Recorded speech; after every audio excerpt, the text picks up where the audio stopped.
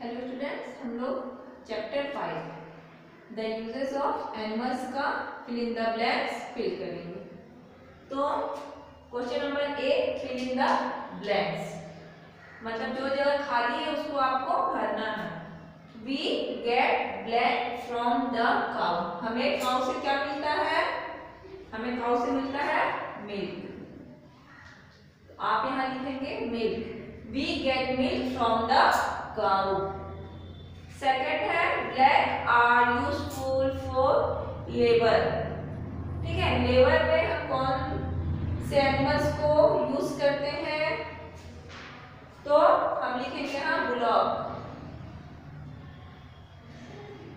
B U double L O C K bullock B U double L O C K S bullocks okay?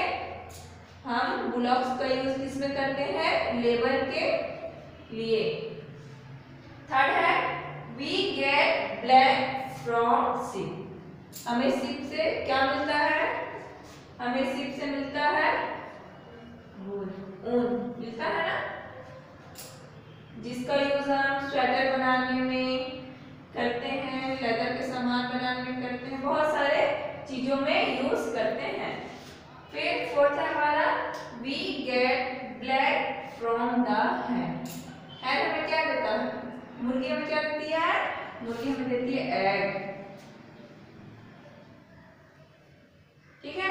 We get egg from the hand फिर फिर skin of dead animals are turned to make जिस, जब animal dead हो जाते हैं तो उसके skin से क्या बनाया जाता है? उसके स्किन से बनाया जाता है लेदर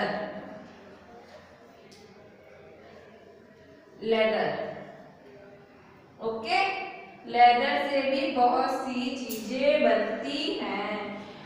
हमारे शूज़ बेल्ट पर्स सूटकेस ये सभी चीज़ें किससे बनती है? लेदर से. गोबर गैस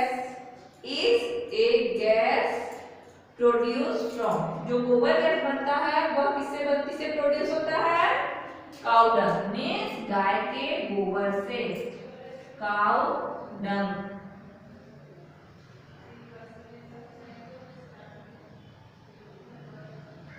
ओके तो आप लोग ये फिल द ब्लैंक्स कंप्लीट कर लेंगे और उसके बाद इसके पीछे मुझे